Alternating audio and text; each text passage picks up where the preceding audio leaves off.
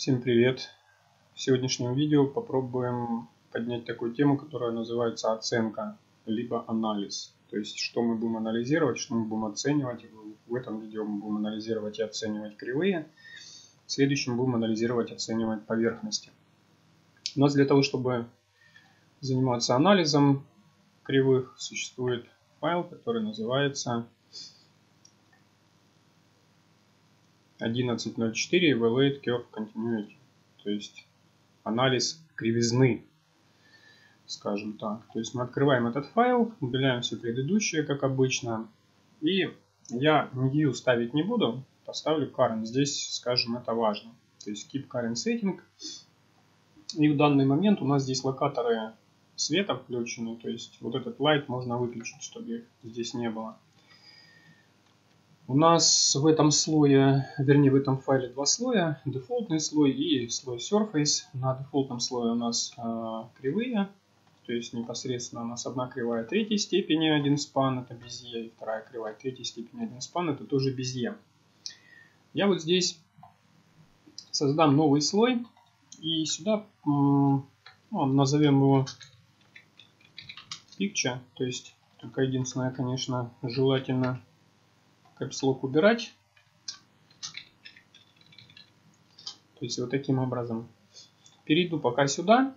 Ну, скрыть я дефолтный слой не могу. Единственное, что можно сделать в этом случае, это создать еще один слой. То есть сделать curve.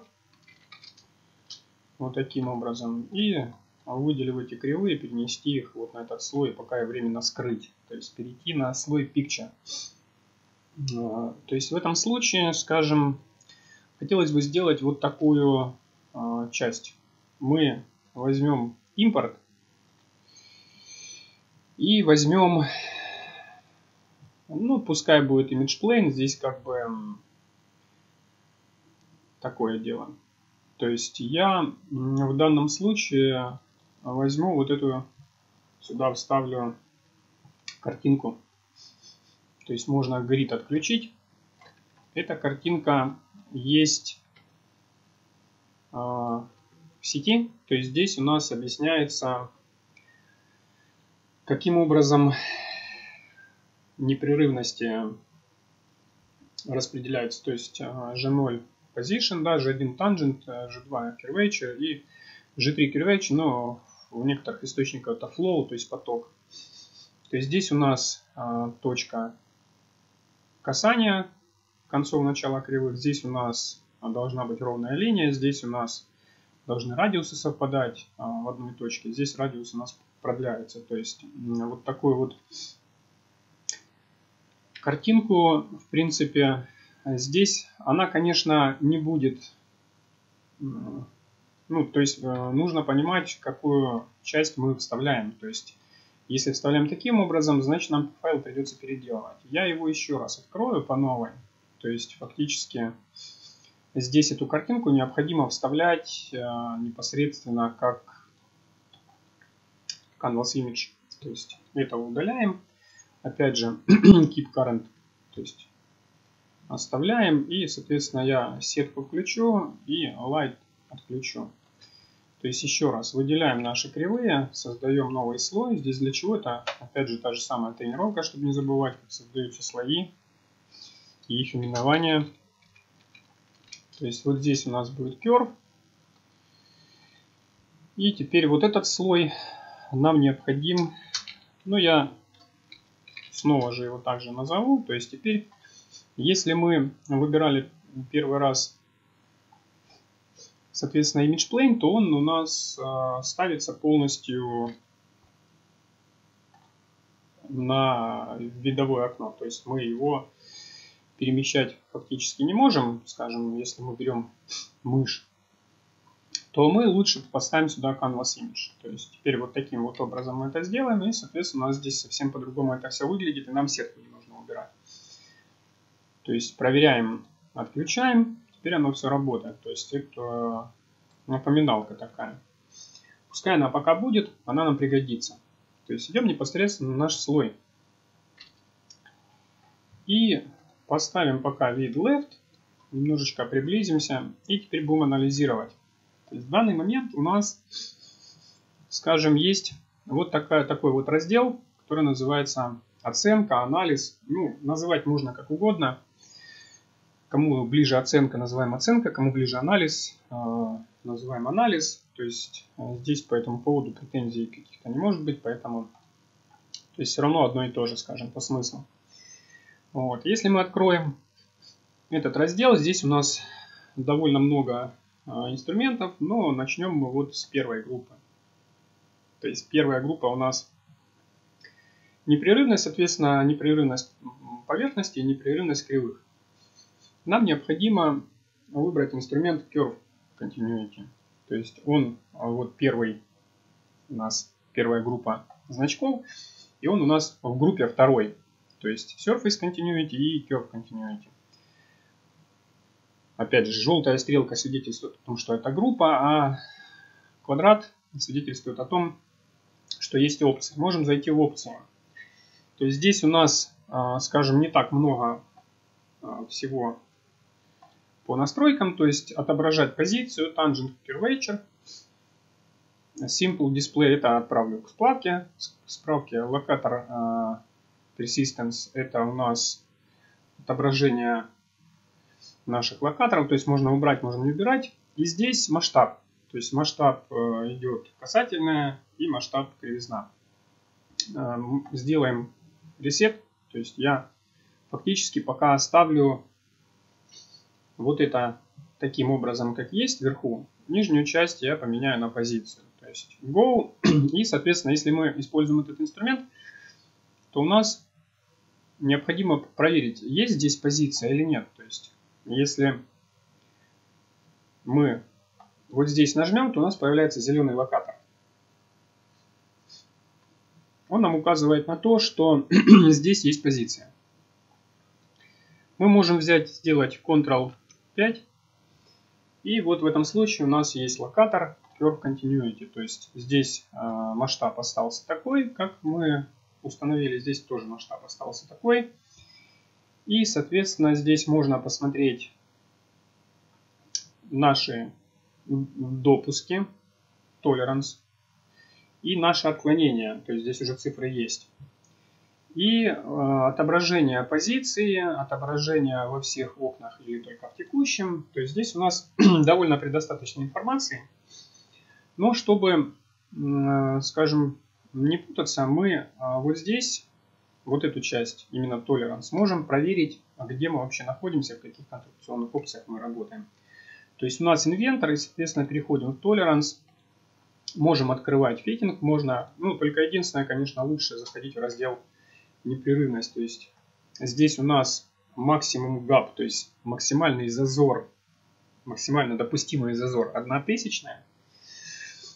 Угол по нормали у нас 0,05. И, соответственно, кривизна тоже 0,05. То есть, фактически у нас вот эти допуски есть. И мы, если выберем локатор, то есть как выбрать локатор? Мы можем локатор выбрать через группу пик и здесь вот есть локатор. И, соответственно, мы не будем выбирать кривые, мы выберем только локатор, нажмем снова Ctrl-5 и посмотрим. Да? То есть у нас вот они, вот эти tolerance levels, они из uh, construction options взяты. То есть одна тысячная, это у нас максимальный зазор. Здесь у нас угол 0,05 по нормали и, соответственно, кривизна тоже. И смотрим, gap distance у нас 0, то есть мы попадаем в позицию, то есть она у нас есть.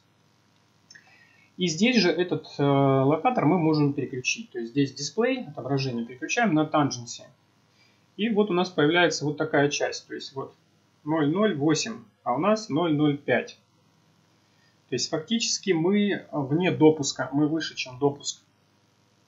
Нам этот инструмент а, говорит о том, что у вас вот, э, скажем, недопустимое отклонение. Если бы, предположим, в Rhino были, был такой функционал у инструмента, то было бы, конечно, в Rhino немножко легче жить. А вот. Но в Alias такое есть. И, соответственно, мы здесь видим вот такой локатор. У нас, э, скажем, для того, чтобы проверить это все, существует такой вот вариант – Ну, обычно а, это применяется а, в автомобильной промышленности. И я пока локаторы удалю. И, соответственно, возьму просто кривую. Любую, неважно. То есть я захожу в первую внутрь, ставлю 1. И, соответственно, Ctrl здесь и Ctrl здесь. То есть у меня прямая линия. То есть мы ведь из вот этой картинки понимаем, что у нас вот здесь позиция, это когда две точки совпадают. А касательно это когда у нас прямая линия, да, то есть мы как бы это знаем. И, соответственно, если мы снова переходим на наш слой, то у нас при нажатии Alt-Shift появляется боковая панель под нашим видовым кубом. То есть это видео есть, можно его смотреть. Возьмем вот этот режим, то есть вот он у нас, стрелочка, включим его. И тут же возьмем непропорциональное вот это масштабирование. И у нас получается только единственное, мы когда берем, нам желательно инструмент выключить. То есть, если мы находимся внутри инструмента кривые, то мы не сможем это сделать. Если мы находимся здесь, вот, без инструмента, то, соответственно, включаем, выбираем вот эту и начинаем растягивать. То есть, тянем, отпускаем, опять же выбрали еще раз, тянем еще, еще. То есть, до... А, здесь можно вот эту часть вращать, то есть вот, этой, а, вот этим значком можно вращать. А вот этим значком можно еще раз увеличивать. То есть мы вот это все можем поднимать стандартно, опять же вызывать этот инструмент и увеличивать. То есть а, вот так проверяются а, какие-то огрехи в поверхностях, кривых. То есть здесь вот эта часть вправо-влево мы мышь зажимаем левую и вправо-влево. То есть до того момента, пока она либо выровняется, ну то есть как бы до того момента, пока нам станет зрительно комфортно. И теперь смотрим. Наша точка отклоняется от прямой. То есть, ну, фактически non-proportional scale это, то есть непропорциональное масштабирование, это у нас по факту такой scale только экрана, не данных, а экрана. И вот отображение вот здесь иконки внизу тоже есть. То есть нам показывают, что мы находимся в этом виде. Поскольку мы это все увеличили, то мы теперь видим разницу. Вот она. То есть у нас вот эти две точки, они не, напря... не напрямую находятся. Поэтому у нас идет отклонение. То есть мы, а, опять же, для того, чтобы сбросить этот вид, нажимаем Alt-Shift и нижний значок черный. То есть обнуляем, скажем, отображение. То есть теперь мы убедились в том, что у нас непосредственно касательной нет. Удаляем эту прямую линию и, соответственно, идем еще раз. То есть берем инструмент, ставим здесь позиция у нас есть, нажимаем Ctrl-5, переставляем это на касательную и смотрим. То есть вот это можно немножечко подсвернуть вот таким образом. И в итоге у нас, э, скажем, два варианта непосредственно. То есть вариант первый. Либо мы поднимаем, опускаем вот эти точки две, либо мы поднимаем, опускаем эту, либо вот эту. То есть нам нужно напрямую попасть фактически. То есть мы, если будем брать, а, предположим, PixCV инструмент, да, выберем вот эту CV и попробуем ее немножечко трансформировать. То есть по Z, то есть по правой кнопке начнем ее поднимать опускать. То есть мы видим, меняется это все но очень сильно меняется, а нам нужно очень маленькие шаги делать. И у нас для этого есть инструмент наш любимый трансформ. И в этом случае мы переключаемся на X, Y, Z и переключаемся на наши, то есть можно его отключить, взять еще раз, соответственно поставить X, Y, Z и поставить uh, CV. И вот теперь мы выбираем нашу CV, только единственное, конечно, у нас здесь а, получается такая ситуация, что инструмент не хочет а, отрабатывать. То есть у нас в этом случае стоит proportional modification. То есть мы должны переставить его на move. То есть, если, ну, можно, а, скажем, два раза щелкнуть сюда, зайти в него и посмотреть, на что стоит трансформация. То есть, move, rotate, scale, non-proportional scale, pivot или proportional mode. Меня установлено было на proportional mode. Мне нужно move. И, соответственно, mouse sensitivity, если мы э, видим, что стоит единица, то это скорость, приравненная к нашему движению. То есть курсор двигается за мышью так, как мы вводим, с какой скоростью мы вводим мышь.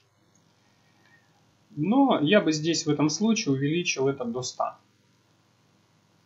И теперь по левой кнопке, то есть у нас э, Получается, если мы выбрали движение, то мы помним, что левая кнопка у нас э, произвольная трансформация, средняя кнопка по, по горизонтали и правая по вертикали. То есть выбираем правую и пытаемся двигать. То есть вниз мы увеличиваем, значит нам необходимо вверх. То есть мы это движение производим вверх. То есть до той степени, пока не достигнем. То есть вот получается Сделаем еще больше. Вот здесь я поставлю 250, чтобы был очень маленький шаг. То есть индикатор у нас оранжевый. Опять же, зажимаем правую кнопку и начинаем двигаться. То есть как только 0.5, 0.49, все, у нас мы в допуск попадаем. То есть у нас ведь э, установлено было на локаторе, что э, допуски по нормали 0.05. То есть вот мы здесь, скажем. Но мы можем спокойно идти дальше и дойти до того момента, пока не будет вообще ноль, скажем. То есть вот в этом случае здесь, то есть вот он ноль. То есть мы четко в допуске, мы в допуске на, на данный момент позиции и в допуске по касательной. То есть вот такая ситуация у нас. Оставляем вот этот локатор. Да? Если мы его выберем еще раз, то есть вот мы его выбрали, и теперь получается у нас вот uh, deviation, то есть отклонение, gap, зазора нет.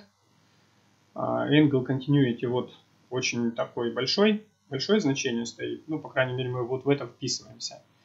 И у нас теперь, если мы переключаемся на кривизну, то есть выбираем кривизну, у нас вот здесь нам отображают, ну, здесь uh, сокращенно, то есть округление идет. А здесь более расширенно, то есть более точные цифры. И в этом случае у нас ситуация какая? Мы вот, э,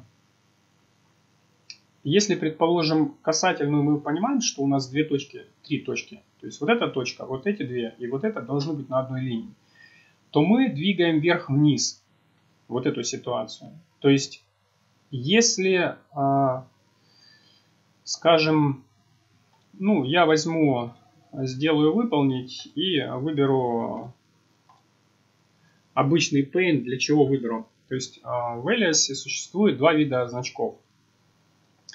Если идет значок вот такой,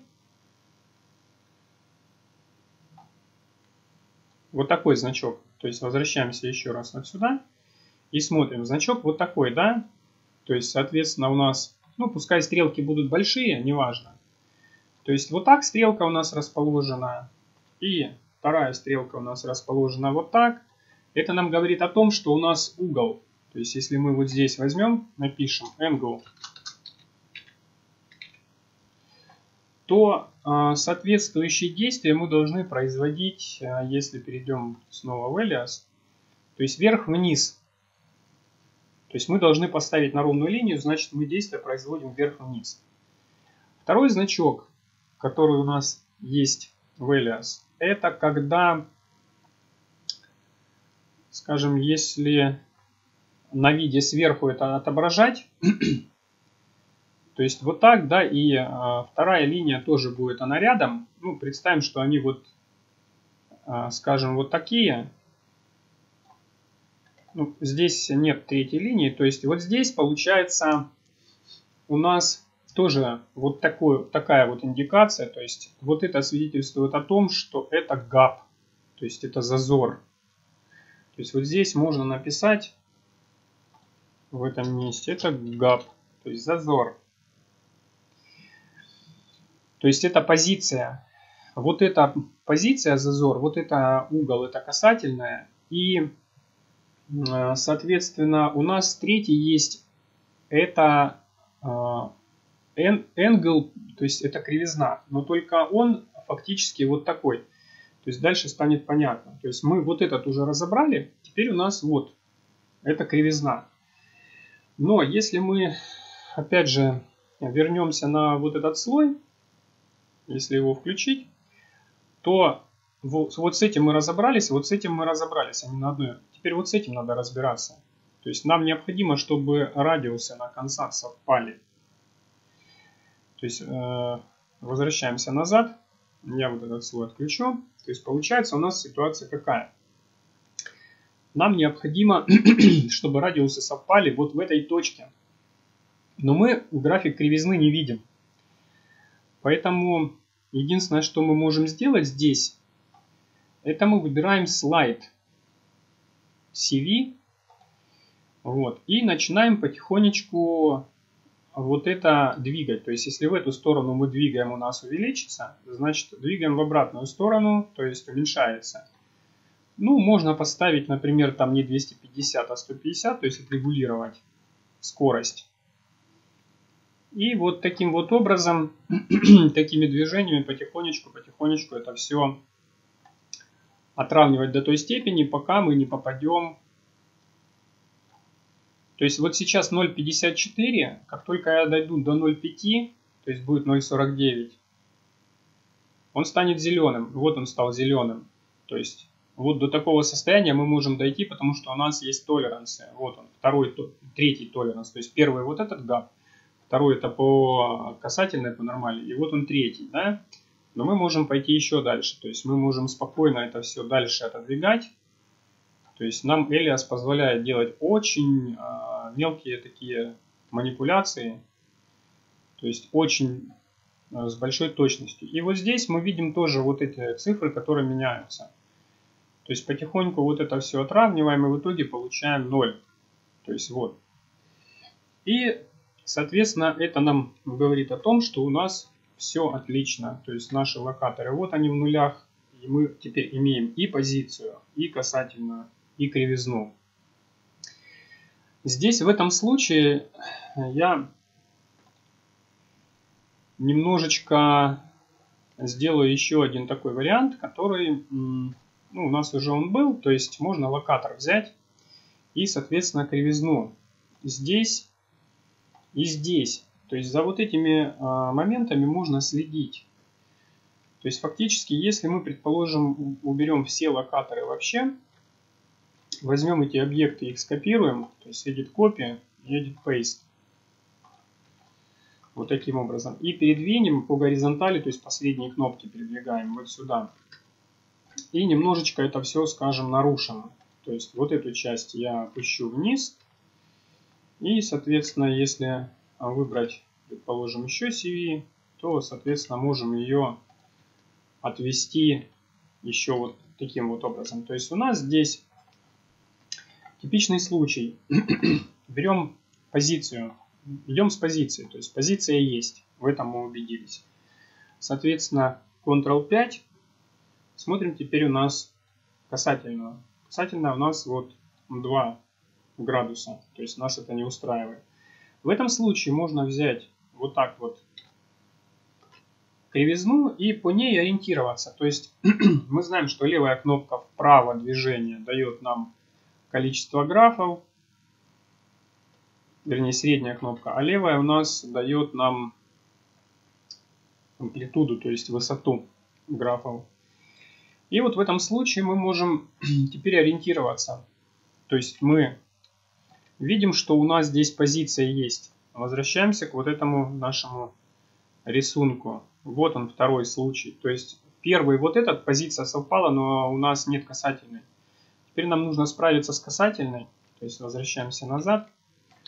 Вот он у нас. И, соответственно, если мы теперь возьмем наш инструмент, вот этот,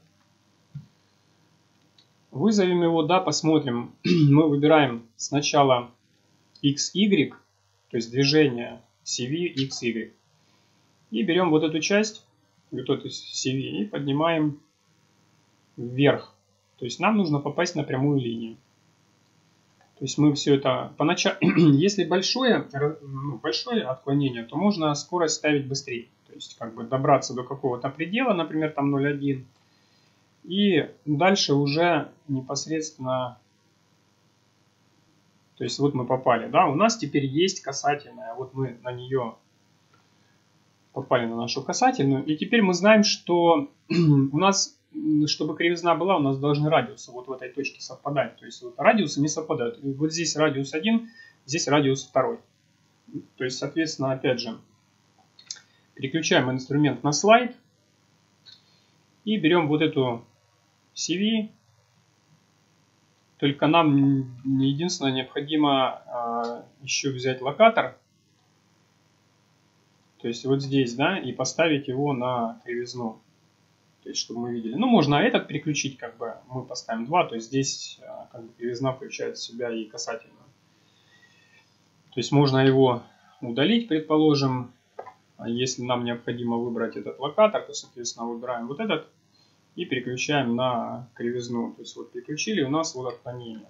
Соответственно, берем инструмент наш, вот эту CV и слайдом аккуратно смещаем радиус, пока у нас не совпадут вот эти концы графика кривизны. То есть мы потихоньку подвигаем. То есть здесь два метода. Либо просто по локаторам ориентироваться, либо если кому удобно, можно ориентироваться вот непосредственно по графику. То есть вот мы подвигаем и в итоге получаем 0. То есть радиусы совпали, вот они. То есть вот таким вот образом мы можем анализировать наши а, непрерывности кривых, то есть и кривые, и использовать инструменты, уже их как бы какое-то количество, то есть для того, чтобы получить а, хороший результат.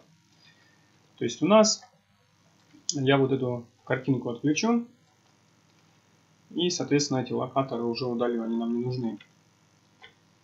Теперь можно кривые эти скрыть, перейти на поверхности. То есть у нас здесь такая ситуация, что мы, например, ну, забегим немножко вперед, возьмем инструмент проверки поверхностей. То есть Surface Continuity здесь поставим вот таким вот образом, пока ничего делать не будем. Ну, соответственно, посмотрим, что у нас здесь есть. То есть вот здесь мы а, проверять вот эту часть не будем, нам нужно проверить вот это на касательную, то есть есть или нет. Да? Вот здесь мы тоже проверяем. То есть проверили, вроде как у нас все нормально в этом случае. Но мы можем проверить также вот эти части. То есть нам для этого необходимо зайти в группу Curve Edit, зайти внутрь инструмента Duplicate и мы возьмем вот здесь данные, то есть подтвердим, возьмем вот здесь данные, подтвердим. Мы можем брать филет, можем попробовать взять а, непосредственно, ну я пока возьму филет, то есть для проверки. И посмотрим, что у нас из этого получится. То есть вот этот инструмент нам пока не нужен. Выберем наши кривые, то есть только кривые. И все остальное можно скрыть. То есть и теперь мы для вот этих кривых снимаем CVHAL, то есть чтобы нам каркас не мешал, и снимаем Edit Point. То есть у нас вот такой вот вариант получается. Нам необходимо в данном случае, скажем, взять две кривые, вот эти, и отобразить edit поинты для того, чтобы видеть, где у нас кривые начинаются, где заканчиваются. То есть и, соответственно, переходим вот сюда, выбираем вот этот инструмент. То есть всегда стартуем с позиции. То есть нам необходимо здесь проверить, позиция есть, есть. Соответственно, Ctrl-5. То есть у нас вот все есть, да, проверяем позиция. Здесь у нас проверяем. Касательной нету. То есть не попали. Кривизны тоже нет. Соответственно, мы за пределами допусков. Фактически. Но здесь у нас кривизны как таковой и не будет. А вот если вот эту часть проверять, то, соответственно, мы получили вот такой результат. И вторая часть это у нас, а, если опять же зайти сюда и начать с позиции, то есть проверяем здесь позиция есть, и проверяем здесь касательная у нас есть. Проверяем кривизну, кривизна у нас тоже есть. То есть фактически мы вот этим анализом и оценкой можем видеть все вот эти моменты, которые нам необходимы. И плюс в локаторах скажем, через информационное окно мы видим сразу и допуски, и отклонения, deviation. То есть это очень, скажем, полезная функция для того, чтобы сразу видеть э, какие-то отклонения и сразу можно их исправлять. То есть, скажем так, на лету. Ну, единственное, конечно, оговорюсь еще раз, если бы, предположим, в Rhino были, был такой потенциал у каждого инструмента, то фактически Время было бы а, моделирование в удовольствие. Но, опять же, это сугубо личное мнение. Вот, поэтому вот такие вот инструменты, группа. Но пока что мы рассмотрели только Curve Continuity. в следующей части будем рассматривать непрерывности для поверхностей. Здесь у нас непрерывности были для кривых, то в следующей части будут непрерывности для поверхностей.